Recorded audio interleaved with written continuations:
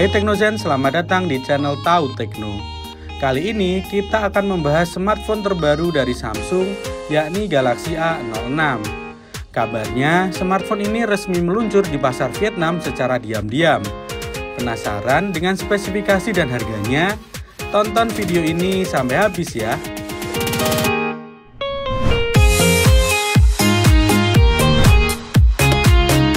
Seperti yang kita ketahui, desain K Island merupakan ciri khas dari seri Galaxy A. Oleh karenanya, Samsung Galaxy A06 tetap mempertahankan tampilan tersebut. Tampaknya, smartphone ini cukup berbenah dari generasi sebelumnya. Hal tersebut menguat dengan perubahan refresh rate yang ditawarkan dari 60Hz menjadi 90Hz. Meskipun begitu, ukuran layarnya tetap sama dengan Galaxy A05 yakni 6,7 inch.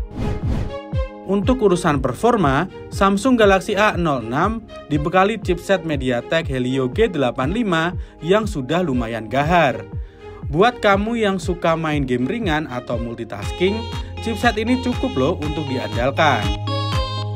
Pilihan RAM yang ditawarkan ponsel ini mulai dari 4GB dan 6GB, Sementara penyimpanan internalnya mulai 64 GB hingga 128 GB.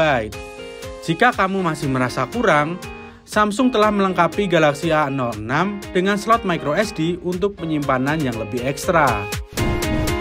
Beralih ke sistem kameranya.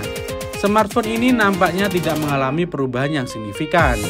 Hal tersebut karena Galaxy A06 tetap mengandalkan kamera utama 50 megapiksel yang dipadukan dengan sensor sekunder.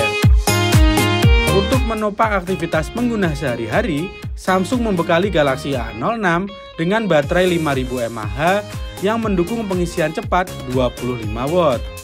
Namun disayangkan, charger tersebut tidak termasuk ke dalam paket penjualan, sehingga pengguna harus membelinya secara terpisah.